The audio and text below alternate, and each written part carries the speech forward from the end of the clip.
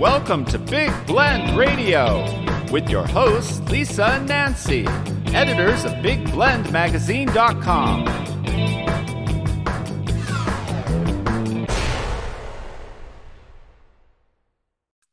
Hey, everybody. Uh, welcome to Big Blend Radio with Nancy and Lisa.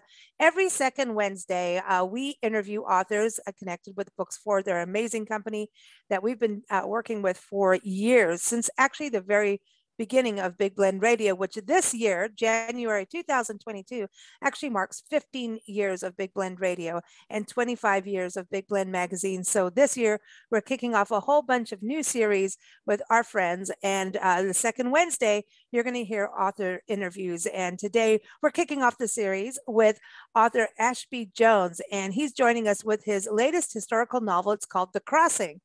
It's out now, and it is a standalone sequel to The Angel's Lamp, which is his first Ooh. novel. So we're very Ooh. excited to have him on the show. Of course, you can get on Amazon, all those great places. Uh, your independent bookstores ask for it. Um, but welcome, Ashby. How are you? I'm just great. Thank you.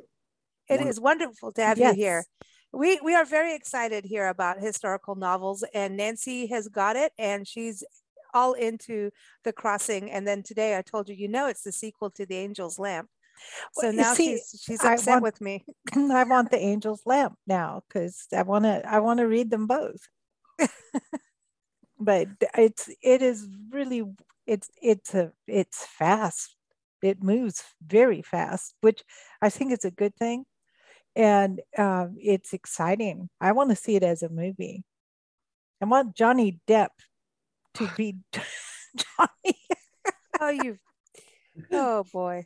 Well, because he's kind of already a pirate.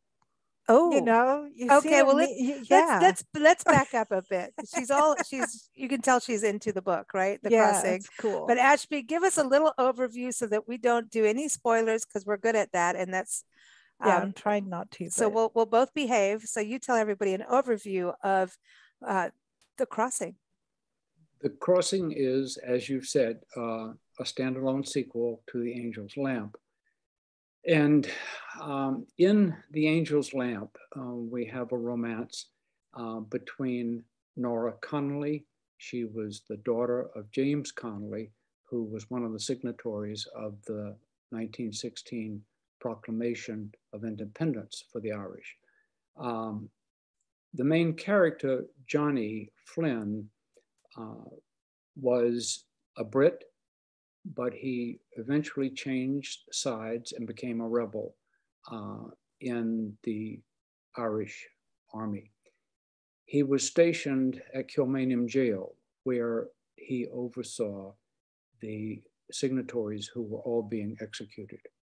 Um, he met Nora in the hospital visiting her father. And um, after a while, they became very close. They met again as rebels on the eastern side of, uh, of Ireland. Mm. And Nora did not realize that Johnny had been on the firing squad uh, to kill her father. He, mm.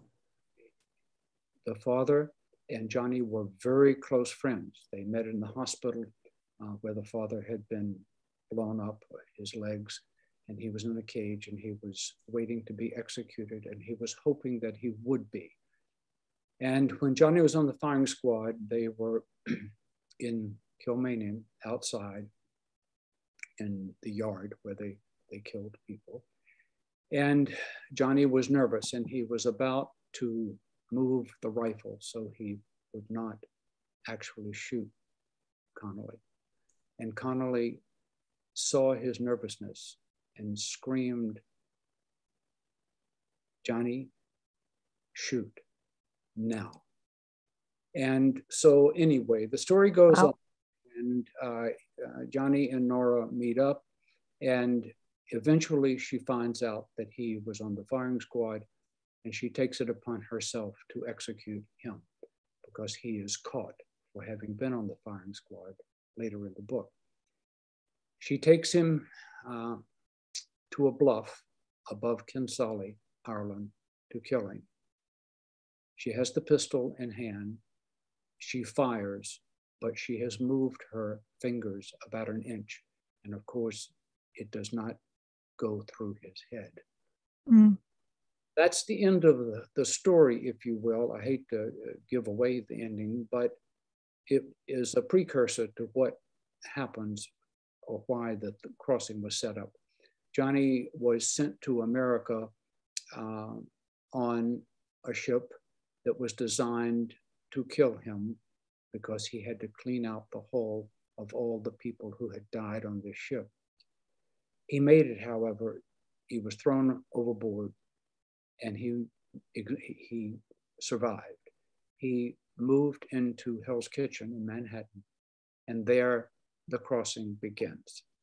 Um, and it is an ongoing book. His love for Nora, he can't overlook her.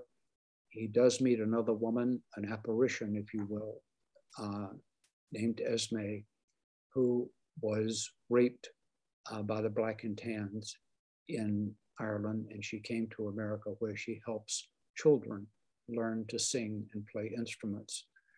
And as the book goes on, he meets her and he finds out that Nora is coming to visit at St. Bridget's Church in Manhattan. And he goes there with Esme. And I don't know if you want me to finish the story or not. don't don't give it all don't, away. Don't I, give it all away. Don't give it all away. don't give it all it's away. Exciting though. It's really, yeah. You see why I say this? This should be a, a movie. Yeah, it's dramatic, but it also I think we don't hear that much about the Irish in America and how they came over here and why they mm-hmm. came over and how rough the Irish I don't know. We've been doing a lot of interviews with Irish musicians lately, and they were talking about, you know, if it wasn't for Rory Gallagher, they wouldn't have got out of Ireland. But it's just, you know, we, are just talking like Northern Ireland, especially. But um, they're really, you know, when we lived in England, there was still that, um, and that was in the 80s. Uh, there was still that tension with, you know, Ireland and and mm-hmm. England, and then over in this country, it seems to be kind of a forgotten forgotten thing of how the Irish came over and how rough it was. Yes. Um, mm-hmm. And with with your protagonist, he comes over and you know it, it wasn't easy even on the ship it was not easy that's why we put ourselves for those watching this on you know on youtube and facebook um we put ourselves in water because we understand right. like what happens when you walk the plank yeah as as you will but um it's it's interesting that you're doing this with the other lady being an apparition uh, too. So she's does he know she's real or does he know she's an apparition? Well, she she in fact is real. Mm. She considers herself an apparition because she was mutilated, raped, and disfigured. Uh, oh. And um, therefore, there is surrealism brought into the book to, in a sense, support the idea that she has at least surreal apparitionist qualities. Mm. she definitely is a, a human being. Oh, wow. This she's, is, she's yeah. got a, a, personality that um, makes her seem above being a human being. Yeah. That, that, that is very true. And mm uh, I, I like that conclusion. I think you're absolutely right. Hmm. Yeah, she's she's bigger than life. Well, I, I love this idea also of surrealism being part of a story because it's you've got historical fiction and in, in a weird way i almost feel like historical fiction really lends itself to that it almost is that because it's something we can't really it's it's the only way we're really it's tangible to us what happened in the past is through mm. storytelling and through the arts and through music you know it, it to me that is surrealism in a weird way you know does that make sense? I think that's i think that's very well said. It kind of um, parallels if not cuts into the whole idea of revisionist history which um, uh, i don't care for.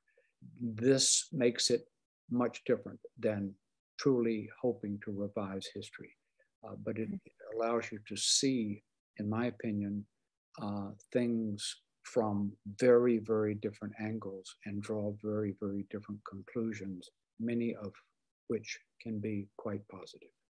Mm, and feel. Yes. Feelings, you know, that that's the thing too.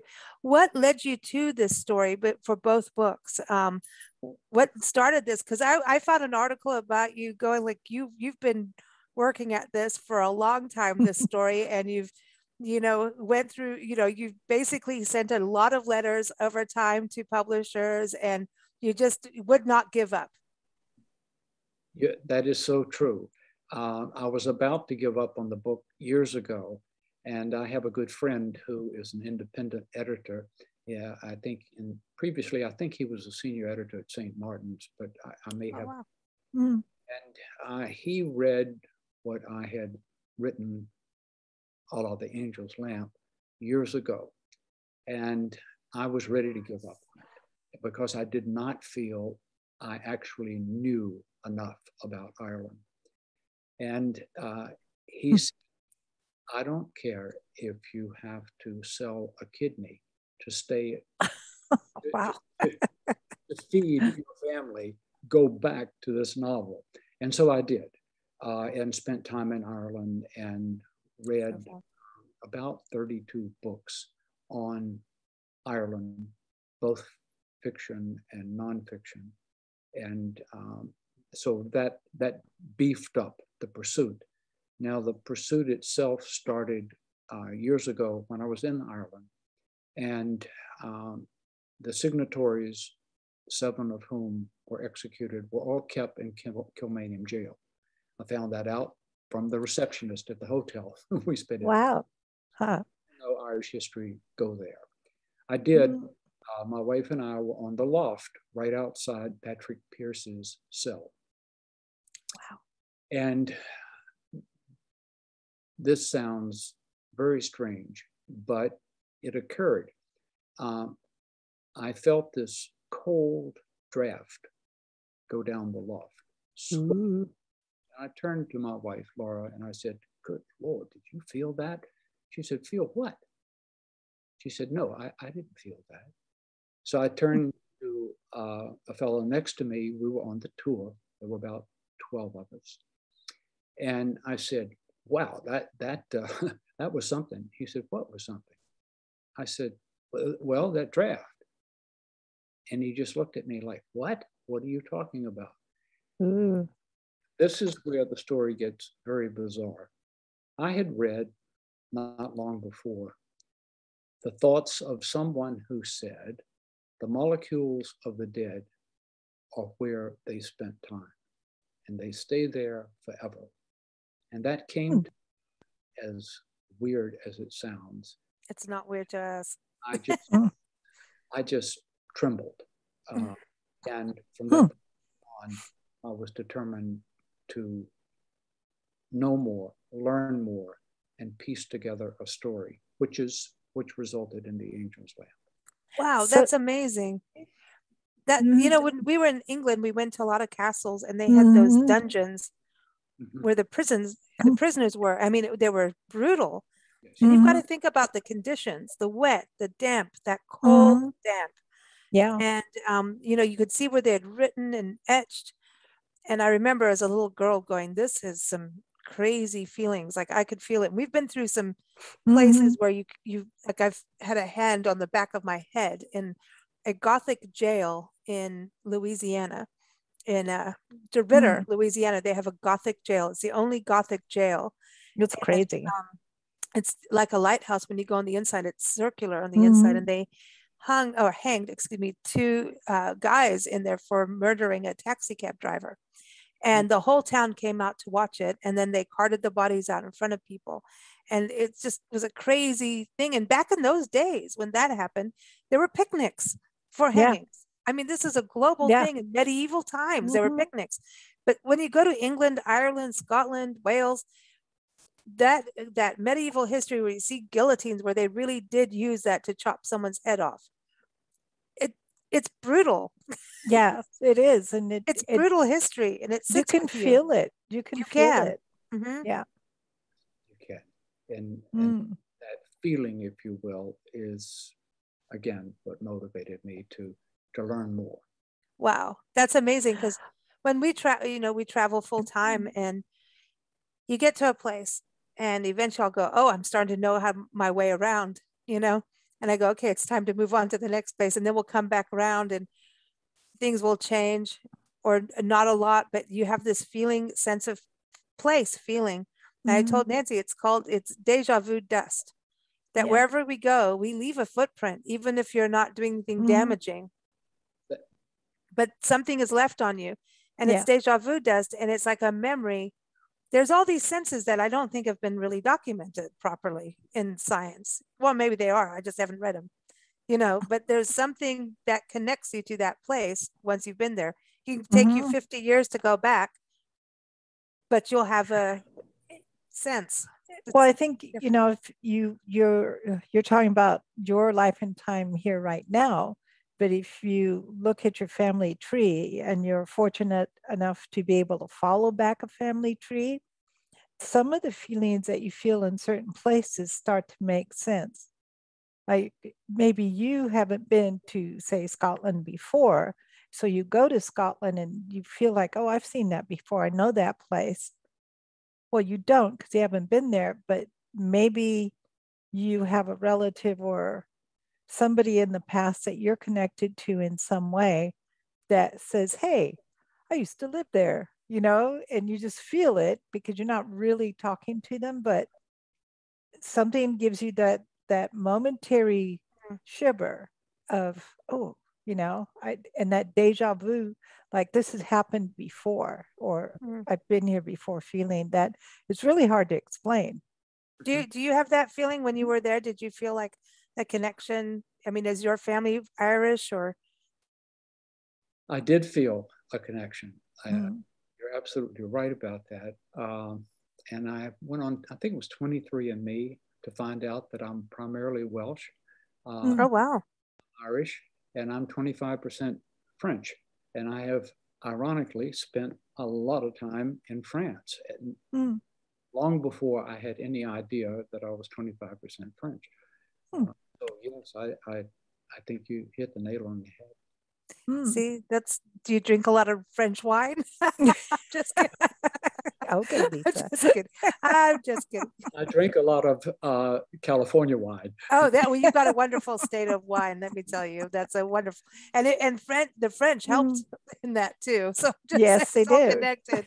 but you know, I, you know, also what's interesting about your uh, book, The Crossing, is that Johnny's coming over at the time of prohibition. And mm-hmm. prohibition in this country, I mean, this was insanity, but um, it really ties into his career at that point. Tell us a little bit about how that connects with him, what was happening here. Well, okay, a, a couple of things. He, uh, of course, took a job. He didn't have a, a, lot of options, but he was a rum runner, and he would take rum cool. on the ships. Uh, you know, this is why Nancy grabbed your book. Yeah, he has a thing about rum runners. I love and rum. California and Mexico has had rum running history. Just so, I'm just going to touch on that. But anyway, sorry, carry on. So he was a rum runner. Yeah, cool. And so that uh, connected him, if you will, uh, with Haley's, which is the bar he spent a lot of time in, and was mm, before the end was offered a job there, but uh, he was he did not take that job. Well, he took the job for a while, but that's about all. Uh, but the prohibition, in my opinion, was fascinating. Um, some a couple of things about it. Uh, women were very much on the front of prohibition, mm-hmm. and in Manhattan, they were the ones on the front of getting rid of prohibition. So they they cool these were guys, but no, the women uh, led led one of one of the battles, uh, which I, I, always found uh, to be fascinating. Hmm. I didn't well, know that. Well, maybe they like their husbands a little bit more mellow than when they're not. Or maybe they wanted some because you never know what women were doing in the parlor with tea. Well, they were drinking laudanum or whatever. What, yeah, there was some, but, yeah. yeah but wine was allowed at that time just for medicinal purposes. Rum. So it's kind of like what happens with marijuana. Yes. You know, we're allowed. You can have weed for health, um, but then not recreation. But isn't health and recreation connected? I'm just saying. Good way of looking but at it. But It is interesting because I don't think prohibition works anywhere. It no. just doesn't. It doesn't. It doesn't work. But it does create a whole bunch of industries that no one sees what's going on. You know. Yes, uh, very, very true. Mm-hmm. So this is interesting. You bring it in, and so he's he's a rum runner, which we you know that kind of history is so fascinating. It's very romanticized, isn't it? And yet at the same time, it's very dangerous. Oh, what what goes on? Very, mm-hmm. very true. And of course, at that time, you had the origins of mafia uh, mm. coming oh. Hell's Kitchen. In fact, they were publishing menus uh, for 25 cents. You could hire them to cut off someone's arm uh, for five dollars. Wow. Someone to get rid of them. Um, so you know that was a whole another thing that came in, um, and of course you know the mafia, in a way, was involved in prohibition. Wow. They were involved in a lot of things for a lot longer than a lot of people realize. True. Yes. Yeah, the the mafia is um, an interesting thing to study. Mm-hmm. Yes, ab- absolutely. So you know, that's have... yeah. I'm just thinking back to prohibition time and we did an interview I mean, it's going to be like 14 13 14 years ago with um, a lady who had and I think she had a co-author who had done a historic photo book of the bars of New York and Manhattan during prohibition time and they had like hidden areas for people mm-hmm. to go in and drink. So when you're and the mafia was involved in these mm-hmm. hidden places. Well, yeah. I mean, it was within their interest because they supplied a lot of the alcohol. That that that is exactly right, and mm-hmm. did work their way into Haley's bar. Haley's being the uh, the hideout, if you will, uh, mm. Esme and, and wow. others. So that's very true. Yeah. Wow. Wow. It's it's fascinating to me you know so i i want to read it now. This is i know you have to read it but i get to read it first ha ha. She's a mother. yeah um, so what do you think about johnny depp playing johnny? Johnny depp playing johnny. Uh i don't think i no. um, no? uh, I, I, I let's see as i remember johnny depp was having some financial problems with his um, holdings in Los Angeles. So, so, so, I don't know if he's back on the screen or not.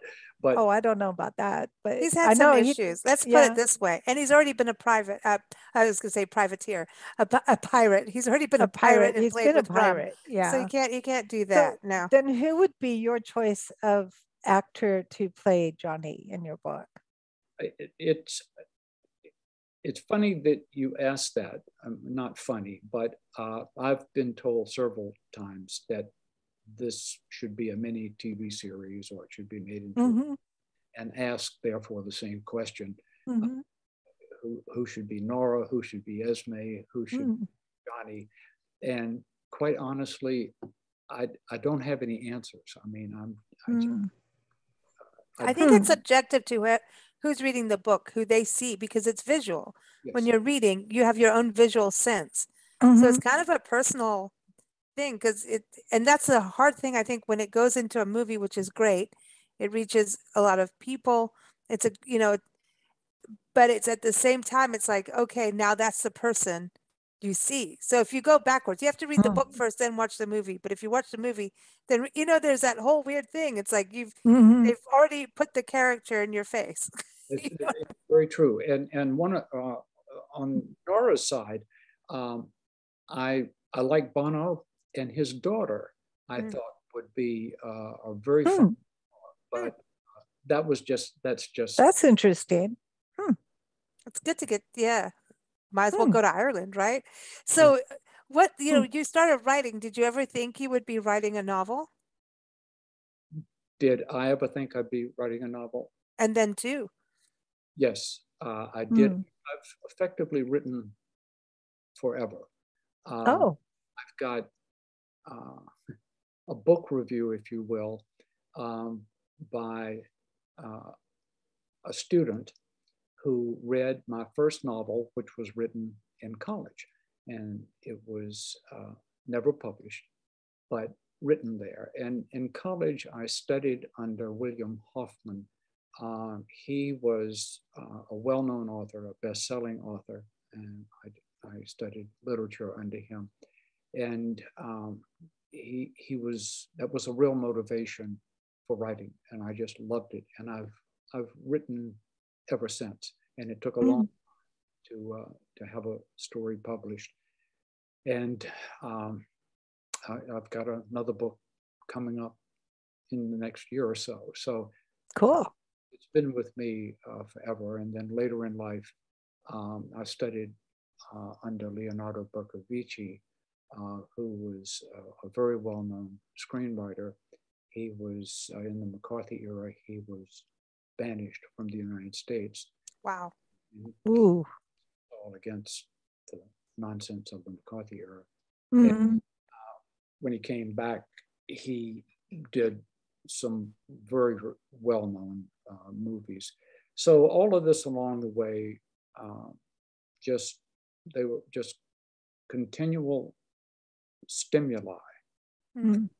sitting down and writing, and I just I, I love it. Mm. The screenwriting part of mm. it, that's really interesting to take that kind of mm-hmm you know that that kind of education because I think it makes you move makes things move fast. Like Nancy was like, mm-hmm. wow, this is just you know, woo, she's off she's off and running with the book, you know.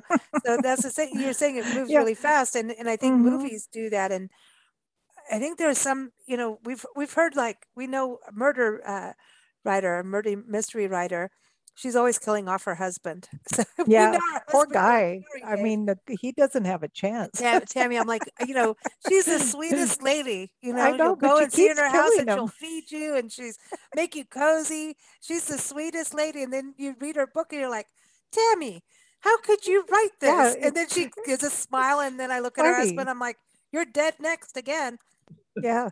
But it's like said, how how are you going to kill him next time? And he's just sitting there looking at us. You know, it's like, yeah, what kind of questions?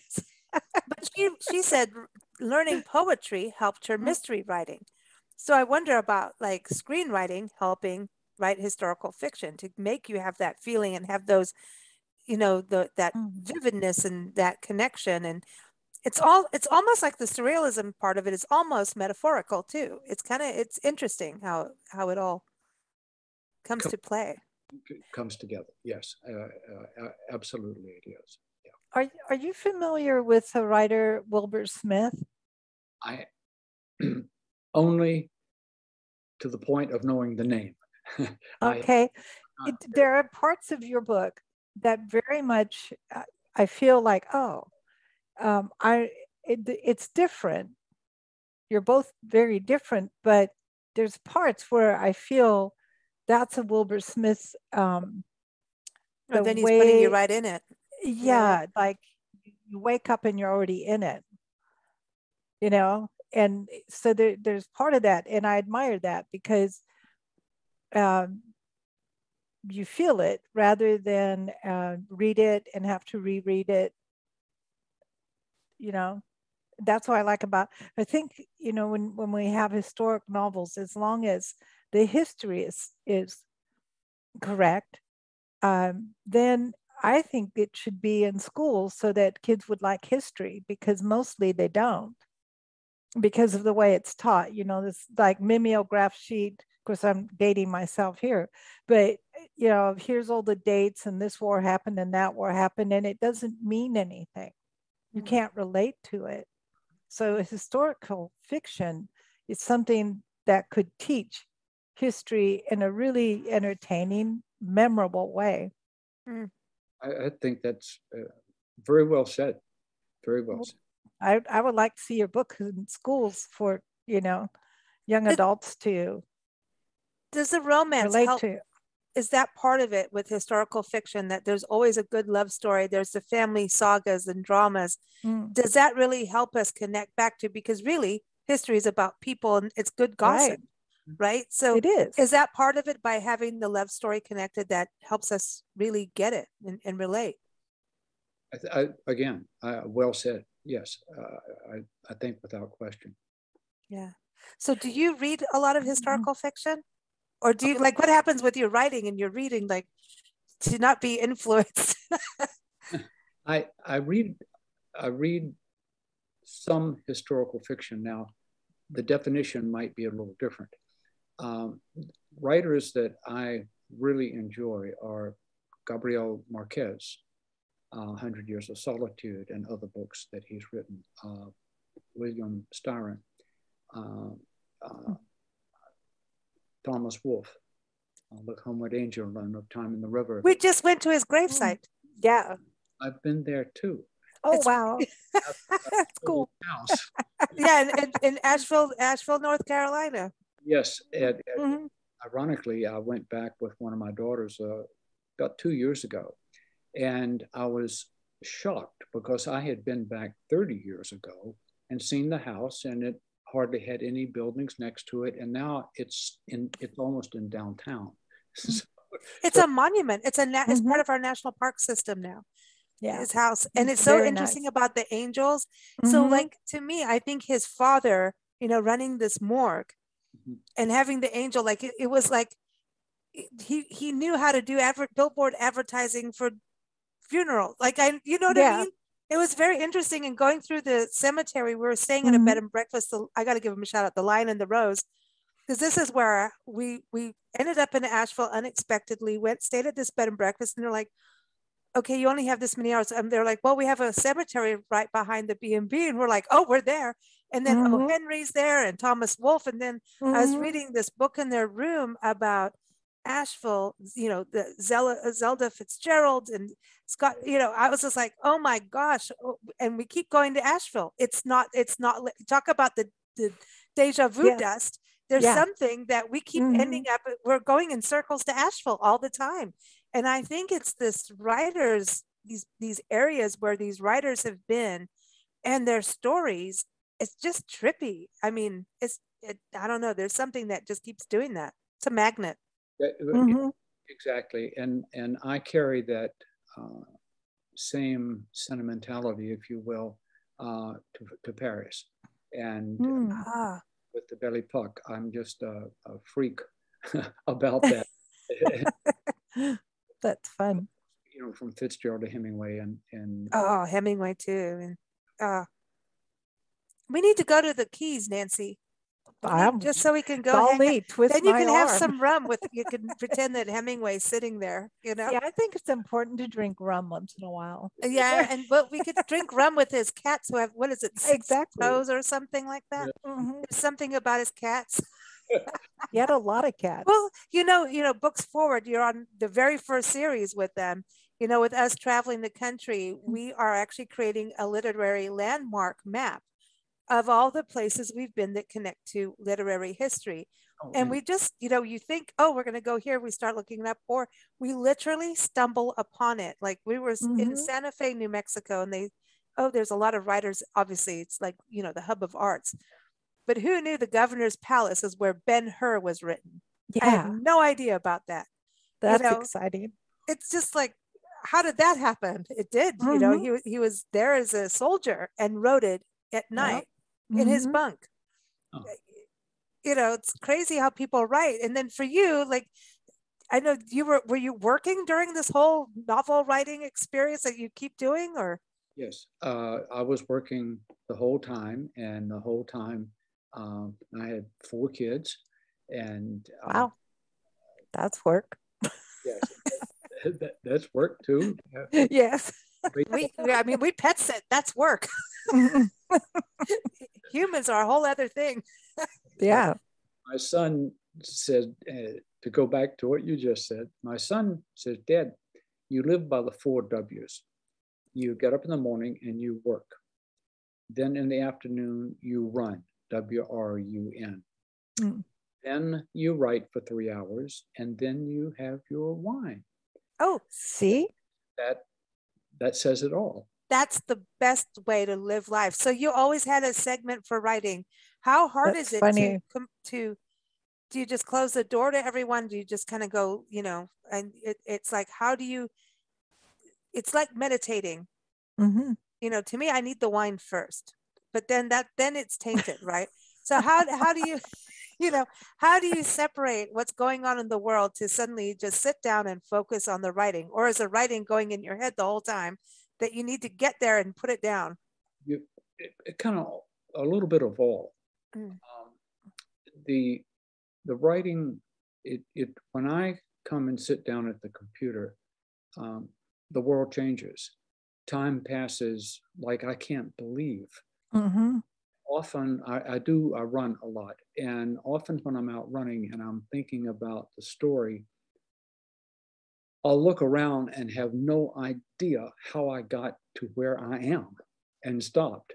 Um, so running is swirling through my little brain all the time. Uh, writing, I mean, is, is mm. all the time. And uh, when I'm, I'm very fortunate, um, my first wife passed away at a very early age.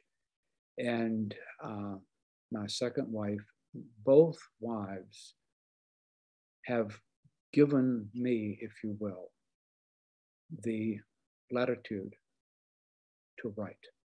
Oh, that's mm. nice. Uh, mm-hmm. I am blessed with mm. the families I've had. So um, I just come back and sit down and kind of everybody reali- realizes that, and I do my thing and then go have my wine. So uh, see, that's a good thing. I love that. I love it's that. Very, and I like that you talk. It's good for your blood pressure. All of this, but also running. I think there's something about the, you know, to me it was walking. You know, you don't want to see me run. That doesn't look good. Um, but walking, there's something like early morning walks where you could sit at mm. night and my brain will go. I've got like a dingbat brain. You probably can tell by talking. it just goes ding, ding, ding, ding. This connects with this. It's one of those brains that will connect everything with everything in some way. So it's really hard. And it, it, it's exciting. So you can't sleep. But then if I walk in the morning, suddenly everything just comes to place. It just makes sense. Mm-hmm. You could mm-hmm. look at a butterfly and go, thank you for that. now I know what to do. There's something about, I don't know if it's the physical movement and the fresh air, but it's there is something about doing that, even in communication with others, that they say that before you go to a holiday gathering, even run it off. before you go see them because it's about run off the it's i think it runs on running mm. walking exercise some kind of physical movement helps clean out whatever the craziness is you it's know? it's rhythm you mm. know there's a rhythm to life mm. mm-hmm. Good point. You're, what you're describing in turn in terms of my interpretation uh, is a form of creativity where things that not everyone would connect get connected mm-hmm. through interest I, I, I, don't know but there there is a uh, it is definitely a, a, form of creativity and mm. it's something that uh, uh, I, I, don't want to be immodest. It's something that I feel comes out in my writing as well. Oh, mm. for sure. Yeah, Lisa and I play this game, and we haven't done it for a while because of um, being quarantined and COVID. But we would go to public places, and um, Las Vegas is really good and you sit across from people and and you just make up stories about who they are what they're actually really doing. There's a lot of affairs. it's, oh there's a lot of and stuff drug going deals. on. Now we now as we travel we sit in rest areas and look at people getting in and out of their cars and yeah decide and you say, what they're oh, doing. you know what? There's really a there's a lot person. of drug deals. There's a body in the trunk of that car over there. There is. That's why the guy keeps walking around and looking down to see yeah why? Yeah, yeah. what's up with that you know? Somebody slashed so, his tires. That's right well, that's good. interesting that you say that because well, when I was in high school, uh, I, I, lived an entirely different life. In fact, I showed up on Facebook one day and someone in my class uh, at high school got through to me and said, We thought definitely you'd be dead by the time you were 18. Wow. And we are shocked. So, wow. I, I, what I'm leading to is I never read much in high school. But when I was a hmm. senior, I was called upon to give a book report. And I got up in front of the class and made up the story for the book. Cool. And at the end, the teacher said, I want to read that. so so maybe that was a big impetus down the road to try to write. Oh wow, that is cool. awesome! That so did yeah. you make it up while you were standing there? Yes, absolutely. And, and oh my gosh, goes back awesome. connecting these bits that that uh, is kind of crazy. That's awesome. That's I funny. love this. That we've yeah. come full circle. It's yeah. been such a pleasure chatting with you, mm-hmm. Ashby. Uh, yeah, very, very That's wonderful. Fun you know i don't even i don't know if that's uh, grammatically correct to say very wonderful but it's been wonderful. You're, very kind to have me and i thank you very much Thank you for oh, joining us, fun. everyone. Again, uh, the book is book. The Crossing, and it's by Ashby Jones. Mm-hmm. And go get it on Amazon. I, am hoping you're on bookshop.org too. We like them because they help independent bookstores. Go get it from your favorite book outlet. And um, of course, keep up with us at bigblendradio.com. And uh, every second Wednesday, know that we're interviewing authors uh, connected with Books Forward. They're an amazing company that uh, really supports authors and and and good ones. Mm. You know, we've We've been interviewing authors uh, that they tell us about for over 15 years now. So it's been so much fun. And yeah. Um, so, yeah, check them out, booksforward.com. But bigblendradio.com, every second Wednesday, we have author time and uh, keep up with us uh, for our magazines as well. So thank you so much, Ashby. You take care. My pleasure. Thank you. Thank you.